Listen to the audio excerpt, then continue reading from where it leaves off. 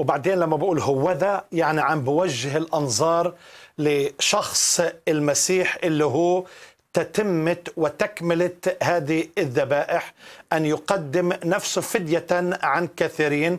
وعلى فكرة في روميا أربعة بيتكلم عن أبونا إبراهيم أنه آمن بالذي يحيي الموتى ويدعو الأشياء الغير موجودة كأنها موجودة. وعلى فكرة ثلاث مرات في سفر التكوين لما سأل إسحاق أبوه قال له الرب يرى لكن ثالث مرة الرب يرى كانت الفكرة مستقبلية.